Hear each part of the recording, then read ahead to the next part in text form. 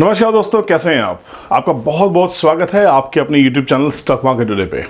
दोस्तों, एक न्यूज़ ने आज सबका ध्यान अपनी तरफ़ आकर्षित किया है और वो है शॉर्ट सेलिंग के नए नियम। सबसे पहले समझने की कोशिश करते हैं शॉर्ट सेलिंग होती क्या है?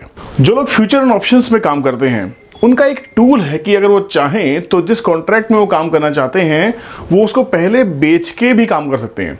एक कॉन्ट्रैक्ट की एक एक्सपायरी डेट होती है, पर उस एक्सपायरी डेट से पहले पहले आपको अपने ट्रेड को स्क्वायर अप करना होगा। इसे कहते हैं शॉर्ट सेलिंग अब शॉर्ट सेलिंग से होता क्या है?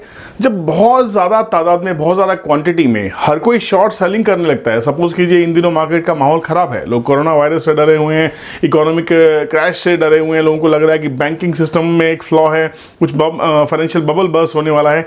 ऐसे सिचुएशन में लोगों को लगता है कि हम इक्विटी के साथ साथ फ्यूचर्स में भी बहुत सारी शॉर्ट सेलिंग करें और निचले स्तर पर वापस सौदे काट के पैसा बनाएँ। इसे कहते हैं शॉर्ट सेलिंग अब शॉर्ट सेलिंग करने के भी नियम निर्धारित किए होते हैं सेबी ने। अब इन दिनों जितनी वॉलेटिलिटी बाज़ार में देखी जा रही है, वो शॉर्ट सेलिंग की वजह से और ज़्यादा बढ़ रही है। आपने देखा होगा कि बहुत सारे स्टॉक्स हैं जो 20 परसेंट से भी ज़्यादा एक दिन में गिर रहे हैं या बढ़ रहे हैं। येस बैंक जैसा शेयर एक एक दिन में 40-40 परसेंट बढ़ रहा है, बीस बीस परसेंट गिर रहा है। इंडस बैंक को हमने देखा, दिन में 25 परसेंट गिरा 15 परसेंट बढ़ा। तो इतनी ज़्यादा वोलेटिलिटी के अंदर में बाज़ार को संभालना बहुत मुश्किल है। और ये सेबी का दायित्व बनता है, सेबी का रोल बनता है कि वो बाज़ार में इस वोलेटिलिटी को थोड़ा सा कंट्रोल करे, ताकि अंधाधुंध बेचने वाले लोगों के ऊपर कुछ लगाम लगाई जाए। अभी देखते हैं कि शॉर्ट सेलिंग के नए नियम क्या हैं। दोस्तों, पहले समझते हैं कि सेबी ने पूरे एफ़ एंड सेगमेंट में जो नियम लगाया है शॉर्ट सेलिंग का, वो कैसे लगाया है। इसको समझने से पहले हमें समझना होगा एम डब्ल्यू पी एल को मार्केट वाइड पोजिशनल लिमिट ये क्या लिमिट होती है?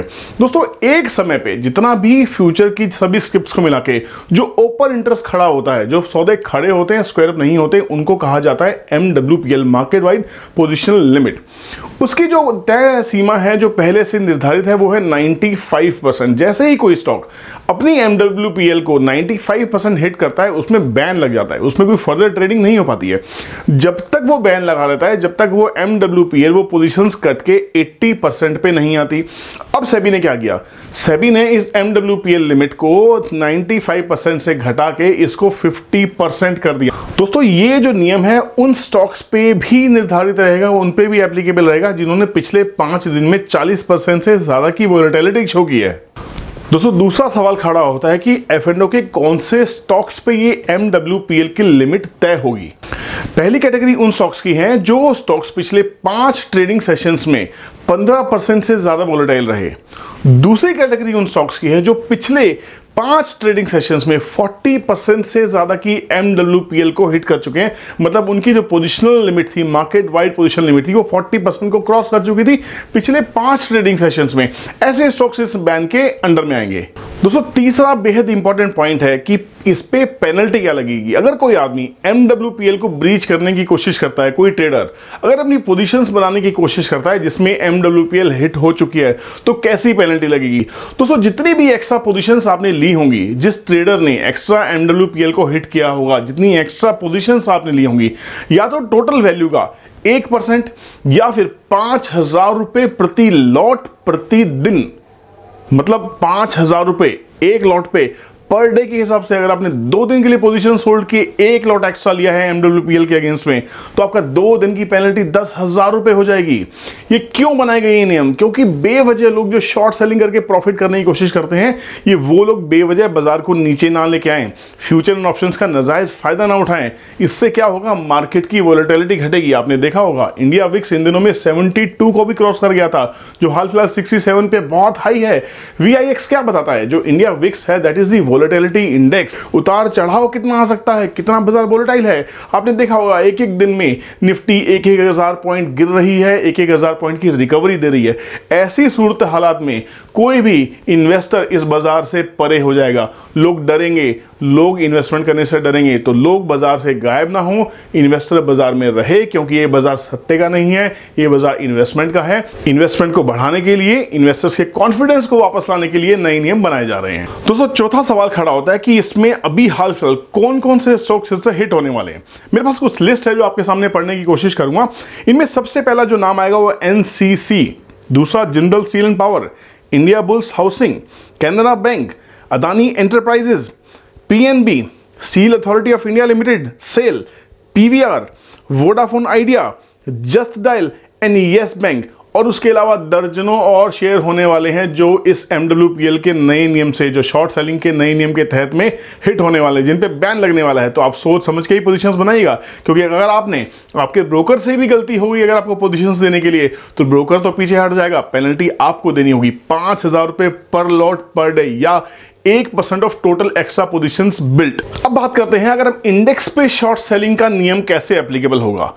जितने भी एफ़ हैं म्यूचुअल फंड वाले हैं, या हेज फंड वाले हैं, या बड़े इन्वेस्टर्स हैं जो बड़ी बड़ी पोजीशन शॉर्ट सेल करके बनाते हैं, उनकी जो लिमिटेशंस निर्धारित की गई हैं, वो 500 करोड़ की लिमिटेशंस दी गई हैं।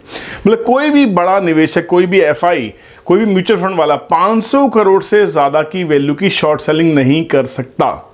और अगर वो 500 करोड़ के आसपास की शॉर्ट सेलिंग करना भी चाहते हैं तो ये सिर्फ़ और सिर्फ़ हेजिंग के लिए इस्तेमाल होगी।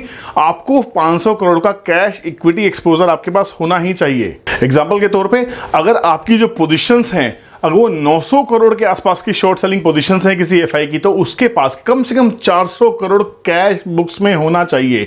अगर उसके पास 400 करोड़ बुक्स में कैश नहीं है तो वो शॉर्ट सेलिंग के इस नियम के बाहर होगा, उस पर भी पेनल्टी लगेगी। दोस्तों कैश सेगमेंट में मार्जिन को देख लेते हैं, कैसे लगने वाला है।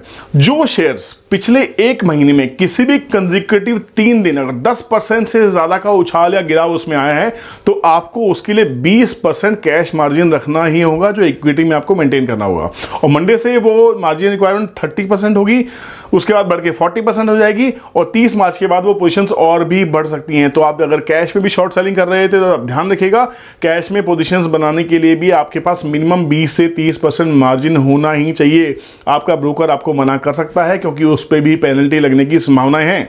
दोस्तों, ये जो नया नियम है बहुत ही इंपॉर्टेंट है। और इस कदम की मैं सराहना करता हूँ, क्योंकि मैंने इस बाज़ार को बहुत सालों से देखा है। अगर इस वोलेटिलिटी को नहीं रोका गया तो छोटे मझोले निवेशक कभी बाज़ार में आएँगे नहीं, और जो ट्रेडर निवेशक बनने का सपना लेके इस बाज़ार में आए थे, पर आज किसी वजह से वो ट्रेडर बन के रह गए हैं, जिनके लिए ये अपॉर्चुनिटी गोल्डन अपॉर्चुनिटी हो सकती है एक पोर्टफोलियो बिल्ड करने के लिए। हर कोई ये समझे कि इस समय जो बुद्धिमानी की बात है वो यह है कि आप अपने पास जो भी कैपिटल रख के बैठे हैं, उसका 10-15 परसेंट पैसा ज़रूर निवेश कीजिए। और जैसे जैसे बाज़ार में अगर फॉल आते भी हैं तो आप 10-10 परसेंट की कैपिटल को फ़ेज़ वाइज उस अच्छे स्टॉक्स में निवेश कर सकते हैं, जिनको आपने अभी तक अपने पसंदीदा लिस्ट में रखा हुआ था। अगर आपने अभी भी अपनी फेवरेट लिस्ट नहीं बनाई है तो blue chip companies mid cap companies या निफ्टी फिफ्टी के जो भी बेहतर शेयर हैं, जो आपको पसंद आते हैं, जिनके फंडामेंटल्स आपको रुझाते हैं, जिनका आपको, जिन पे आपको कॉन्फिडेंस है, आपको लगता है ये आपके पोर्टफोलियो का हिस्सा हो सकते थे, या जिनको खरीदने के आपने सपने देखे थे, आपके सपने पूरे होने का समय आ गया है शेयर्स में पोजिशन बनाने का समय है, आप पोर्टफोलियो बना सकते हैं, पर हाँ अगर आप नियम नहीं फॉलो करेंगे तो सेबी तो खड़ा ही है हमारे साथ, इसलिए मेरी आपसे गुजारिश है, ये समय इन्वेस्टमेंट करने का है सीखने का है सीखिए और निवेश कीजिए। Happy investing